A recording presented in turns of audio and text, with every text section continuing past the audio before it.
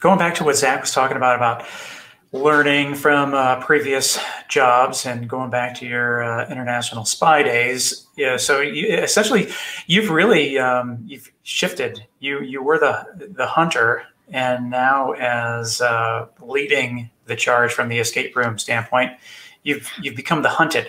So how do you how do you deal with other escape rooms? Going in and potentially taking the things that you're doing uh, I mean, you had talked about uh, before we went live about uh, now there is the escape room as opposed to. So how do you stay ahead? How do you stay ahead of all that? And what's your feelings on uh, people that go in and just try to just copycat?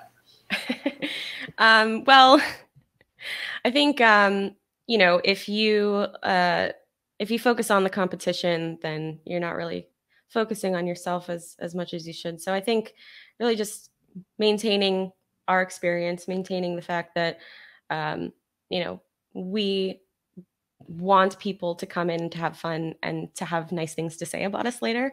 Uh, that's what we're focused on. And we don't really, um, you know, we were the first in the area, uh, which is a lot to say. Um, you know, there are other escape rooms that um, have less rooms and and focus more on their puzzles and are actually really wonderful and we we're we're friends with them. Uh, so you know the friend the competition is friendly um, and if it's not then i'm not concerned